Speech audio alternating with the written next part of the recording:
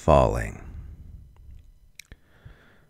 Crowdfund Israeli spyware surveillance on your own government to keep them from selling the nation to BlackRock while the world burns and billionaires masturbate in low Earth orbit.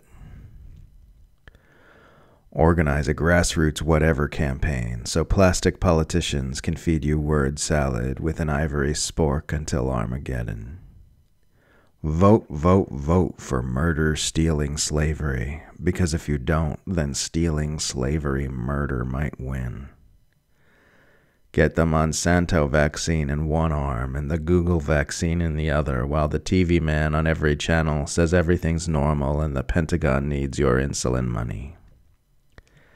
Ask your doctor about Sedentrol to mute the gnawing sensation that you should release the parrots in your chest and fly with them to freedom, instead of cranking a gear in a cubicle which turns billionaires into trillionaires.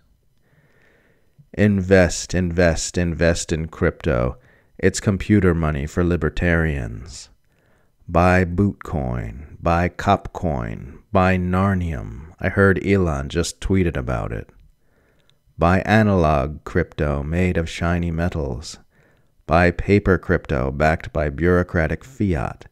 Baby, we're gonna rule this whole damn shanty town. We greet bosses with tourniquet smiles, force through oceans of pain, and make small talk about the soldiers patrolling our streets.